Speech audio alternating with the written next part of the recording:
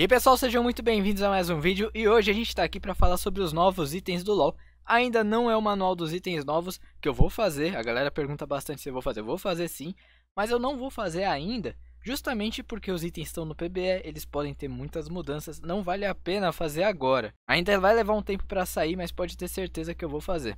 Agora o que a gente vai falar aqui é sobre como que a Riot está trabalhando para balancear os novos itens, tem alguns pontos bem legais que eu queria conversar com vocês. Nesse post eles têm o novo plano de balanceamento dos itens, eles explicam passo a passo aí como que eles estão trabalhando nisso, como que vai funcionar as classificações de taxa de vitória, eles deixam bem transparente isso para o público. É algo bem legal, eu espero que dê tudo certo, que consigam seguir o que está aqui, porque realmente vai transformar o jogo em outra coisa e eu espero que fique um jogo legal. Então eles explicam bastante coisa sobre os objetivos, sobre o que, que eles querem fazer em relação ao balanceamento. Eles listam cinco objetivos deles aqui, que é deixar a compra de itens mais ágil e intuitiva, ou seja, ser mais fácil para o jogador comprar, para ele escolher.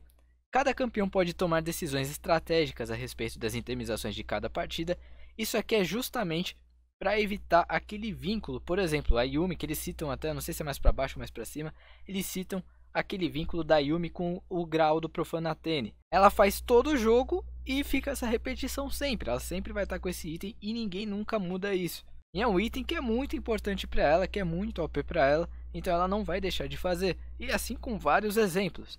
As itemizações devem proporcionar formas divertidas de dominar um campeão e também eles querem fazer com que você tenha poder épico, você tenha a sensação né, de ter um poder épico e se aprofundem a fantasia do campeão. Então são dois tópicos mais interligados aqui e os itens icônicos serão mantidos para que nem tudo tenha que ser reaprendido. Eles vão manter algumas coisas, algumas bases aí para você não ficar muito perdido também.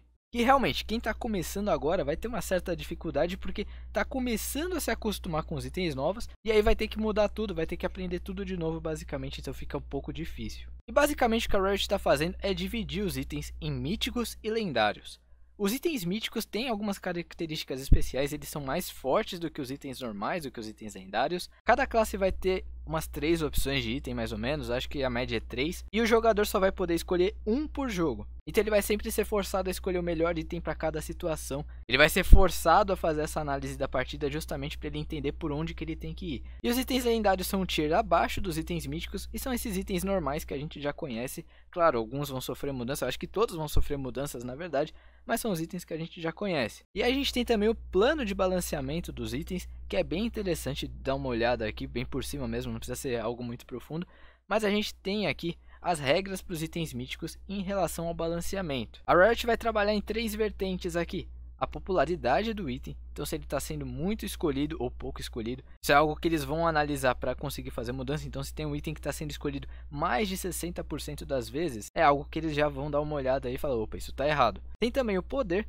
que é a relação de taxa de vitória com a frequência que esse item é comprado e também o desvio, se tem campeões de fora da classe do item que estão comprando ele muitas vezes, que são mais de três campeões que estão comprando, então eles também vão dar uma olhada nisso. É algo realmente bem importante. E tem também regras parecidas para os itens que estão mais fracos. Então a popularidade, que é o caso se o, o campeão está comprando pouco esse item, e também o poder que se estão comprando bastante até, mas está tendo uma taxa de vitória muito baixa. E é legal a gente comentar sobre qual era o principal problema na hora de balancear um item. A Riot até menciona aqui sobre o Mejai, um pouco para cima, que acho que está um pouco para cima, eu não sei exatamente aqui. Mas enfim, basicamente o que, que acontece com o Mejai? Ele é um item que ele tem uma taxa de vitória muito alta, principalmente quando você que ele tem uma taxa de vitória muito alta. Mas não quer dizer que ele tem uma taxa de vitória porque ele é um item OP. Ele é forte, é sim. Mas quando um jogador compra o Mejai, ele já tinha uma vantagem no começo do jogo, ele já estava forte, ele já estava na frente.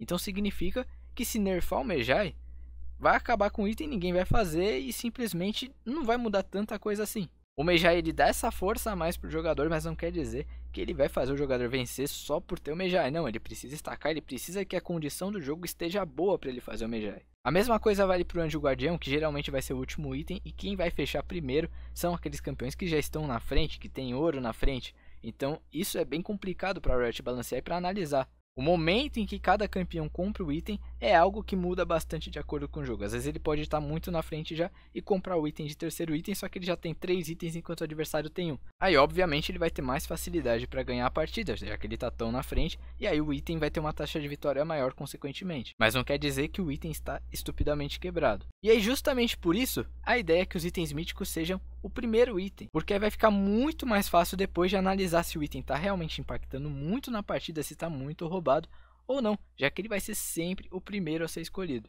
E aí a gente tem também algumas regras parecidas para os itens lendários, só que eles vão analisar principalmente a taxa de compra, já que a taxa de vitória, como a gente acabou de falar, não é algo muito confiável. E também uma ideia muito bacana é que todo campeão deve ter 10 ou mais itens lendários para poder escolher. É muito item, mas é justamente para ter essa variedade de build mesmo, bem legal. E a gente vai dar uma olhada em alguns itens, tem algumas coisas aqui que eu fiquei um, pouco curioso, como por exemplo a Draktar, que eu acho que é um item que está muito forte, é, apesar de que você vai poder fazer só um, é um item mítico, tem que ser forte mesmo, você só vai poder escolher um item mítico. E aqui eu já entendi mais ou menos por onde que a Red quer caminhar, porém eu acho que o Crepúsculo, que é o passivo único desse item, está muito forte Justamente porque ele está dando um poder muito grande para os assassinos. O que, que acontece? Vou explicar para vocês como está a minha linha de pensamento aqui. Quando você ataca um campeão inimigo, você vai causar dano adicional, beleza? E vai reduzir a velocidade dele por 0.25 segundos, 99%. Beleza, isso a gente já conhece da Draktar. Tem 15 segundos de tempo de recarga isso, não vai funcionar igual antes. E era quando você estava fora da visão, você ganhava esse efeito. Não, agora tem 15 segundos de tempo de recarga. Você vai ficar usando isso de tempos em tempos, em vez de depender de entrar no mato e sair da visão. Mas agora que começa o negócio. Se um campeão a quem você tenha causado dano nos últimos 3 segundos for abatido, esse tempo de recarga será redefinido, então você vai causar esse efeito aqui de novo. E você ganhará invisibilidade por um segundo e meio. Exatamente a Draktar vai fazer você ficar invisível se você abater um campeão inimigo. A única coisa que passa pela minha cabeça quando eu leio isso é se realmente precisa de algo assim. Os assassinos realmente precisam de algo assim? E se você parar pra pensar, o que é um assassino? O que, ele trabalha? Ele quer entrar na luta pelo flanco, pegar um alvo fora de posição, é, chegar na backline, conseguir abater o alvo e simplesmente sair da luta. Por isso que a Diana, por exemplo, ela tomou aquele reworkzinho e agora ela é mais bruiser, né? Ela é voltada mais para uma lutadora que usa conquistador. Ela tem indícios também de ser uma assassina, tem a força de um assassino, mas ela é muito mais uma lutadora que ela quer se jogar no meio de todo mundo e aguentar um tempo ali. Justamente porque ela é uma campeã que quando entrava na luta, ela tinha muita dificuldade de conseguir sair. Ela tinha que ficar lá ou ia morrer ou ia matar todo mundo. A gente pensa no Rengar também, que o máximo que ele tem para sair da luta, uma vez que ele luta e pula no meio de todo mundo ali, é usar o W dele e sair correndo, ou então alguém ajuda ele a sair. Apesar de que se tiver mato perto, ele consegue se reposicionar e sair pulando em todo mundo. Mas aí a galera tá vendo ele ir pro mato. Mas agora se a gente pensar num caçadinho no nível 16, a gente entende por que, que ele é tão forte.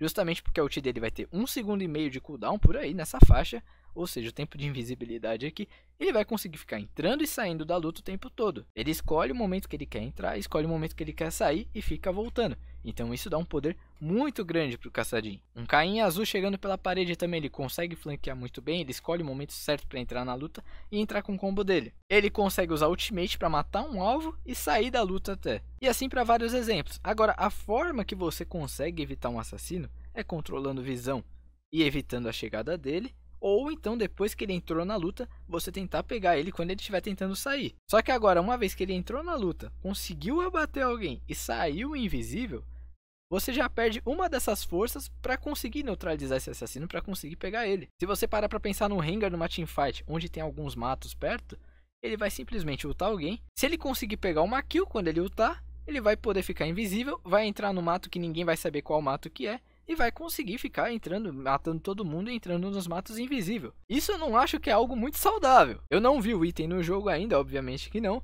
mas o pelo que está escrito aqui, eu não consigo pensar em algo diferente disso. Eu acho que é realmente muito forte. E então o assassino vai estar Draktar, vai ter o limiar da noite que a princípio vai funcionar da mesma forma que funciona hoje, ganhando o escudo. Então vai ficar muito difícil de você conseguir parar um assassino. Eu acho que isso daqui provavelmente vai mudar. Eu espero que sim, porque senão o jogo vai ficar muito insuportável de jogar contra um assassino que está na frente. Vai ficar mais do que já é. Mas pelo menos a gente tem aqui uma ideia do que, que a Riot quer com esses itens aqui. A gente tem o Eclipse também e a Garra do Espreitador. Você pode ver que o passivo mítico aqui ele concede 6 de letalidade, aí nesse daqui é 5% de penetração de armadura. E esse daqui é 5% de aceleração de habilidade, que é uma nova redução de tempo de recarga, mas que a gente vai falar em outro vídeo depois. Mas então você não vai escolher o item necessariamente por causa do crepúsculo, ou aqui do golpe lunar, ou da irrupção das sombras, mas sim por causa do passivo mítico, o que fica melhor de acordo com o jogo. Então para bater em tanque, esse eclipse seria melhor, para lidar com squish esse daqui seria melhor, e para você ter uma redução de tempo de recarga aí, você ter as habilidades em menos tempo, você vai usar a Draktar. E assim vale para muitos outros itens, por isso que tem três aqui, é três em cada mesmo. É, isso vale para muita coisa. Mas é basicamente sobre a Draktar que eu queria comentar, porque eu fiquei um pouco assustado com esse item mesmo, com a força que ele pode ter. Mas claro que depende de uma série de fatores como o assassino tá na frente, ele precisa ao ponto de conseguir dar IK em alguém. Pode ser que no fim do dia não seja tão OP assim quanto parece. Mas então esse foi o vídeo de hoje, eu espero que você tenha gostado. Se você gostou, deixa seu like, se inscreve no canal e deixa seu comentário também. Fica ligado que já já, daqui um tempo na verdade, já já não, daqui um tempo já sai o manual dos itens novos. A gente vai comentar bastante sobre isso, beleza? Até a próxima, valeu!